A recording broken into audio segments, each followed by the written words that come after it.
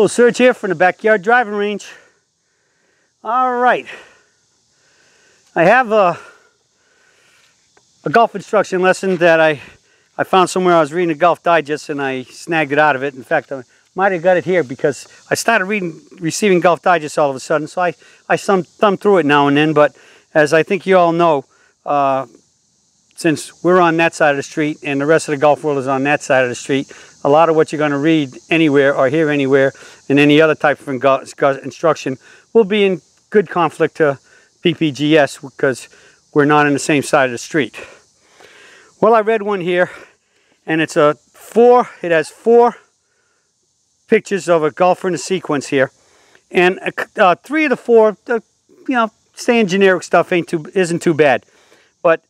The third one, which is called post impact, they got a they got a, a backswing one where the player's about there, back going back. Then they got at the top of the backswing, and then they got post impact. They got the player there, and then they got the finish. And I guess I won't like the finish either because he's kind of like this, and, and he's twisted up, you know, like this, finishing here, and, and the body's curved this way. But I'm, I'm just going to talk about the post impact. And here's what it says.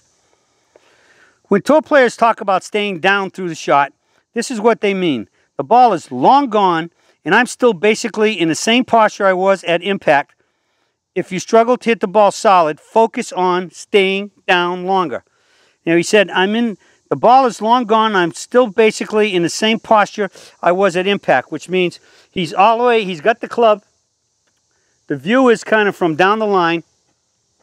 So he's in the, he's in the position here and he says basically the position he was at impact, he's all the way to there and he's still here. All right? And,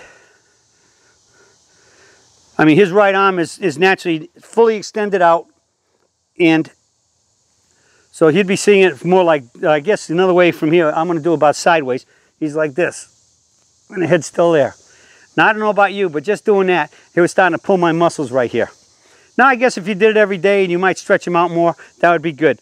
But as being Sergites, you know that what's the number one thing I say about impact? Once you strike the ball, you cannot stand up fast enough. I want you coming up like a Pop-Tart out of a toaster. So I, I actually say, if, if when you hit the ball, your eyes were closed, as quick as you can open them up, right? My eyes were closed. As quick as I can open them up, I want to be standing here looking the ball in the air. How fast can you open your eyes? Blink a blink. That's what I call it, a blink of an eye. In the old days, that's, that's a carryover from ever and ever. Hit down on the ball, stay down until your right shoulder hits your chin. That's one of the biggest things that causing back problems and neck problems and shoulder problems. Because you got this, you're still here, and what happens? Your, your shoulder finally hits, in, uh, hits into your chin, right? And then and then it helps. And at that point, because you're going to try swinging your arms up, you're using your shoulder to help lift your head. Well, I don't know about you, but I can stand here like this. I can stand here like this, and, and without moving a darn thing, I can lift my head up like that without moving one muscle in my shoulder or whatever. That's why God gave us neck muscles so that we can we can move the head independently of the body. Huh? I mean, you see these commercials of of uh, people bury themselves in the sand, but they're still moving their head, right? When they at the beach, they're at the beach and they bury themselves in the sand, and they're still moving their head around. They can't move their shoulders; they're buried in the sand. I still think I, what I think that is is saying this stuff is like sticking your head in the sand instead. That's how I think wrong it is. So Pop Tart, make impact. Once I hit it, bang, everything stands up. Annika Sorenstam, David Duval, look at them. They're actually, they're, they're actually, in many cases, their head's almost, their head's almost already turning before they hit the ball. I think they're actually slightly turned ahead. I wouldn't, I wouldn't copy that because I think that's going to really take an unbelievable sense of timing. But they're two, they're two that are that I think are even more extreme than what PPGS says about pop tarting. You want to reduce stress and strain you want to keep the club moving faster and keep yourself down the line because you keep your head here too long and your head stays too long. Where does your shaft go? It can't go up. Your head's in the way. It's going to be tough to go up. And if it does, it's very likely not going to be able to release enough to, to have hit the ball solid and straight. So keeping your head down in any way, shape, or form until your shoulder hits your chin, or as in this case saying, keeping your instead of saying keeping your head down, he's saying the same thing by maintaining that spine. I think that's even worse because now this is going to have to tighten up as, it, as the collision with your chest happens, with your shoulder happens to the head. It's going to have to tighten up to make sure you don't do what? Fall back. So all the lower body's having to tighten up.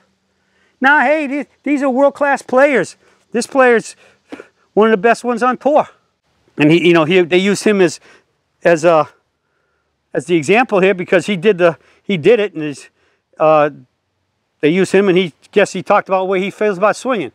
So, we want to swing up, stand up, AFAP, recoil, and relax. Speed does not come, and power does not come from a lot of body movement. It comes from what? Little body movement, little body movement, and swing your arms faster. Centrifugal force, rock on a string. Here's the rock, here's the string.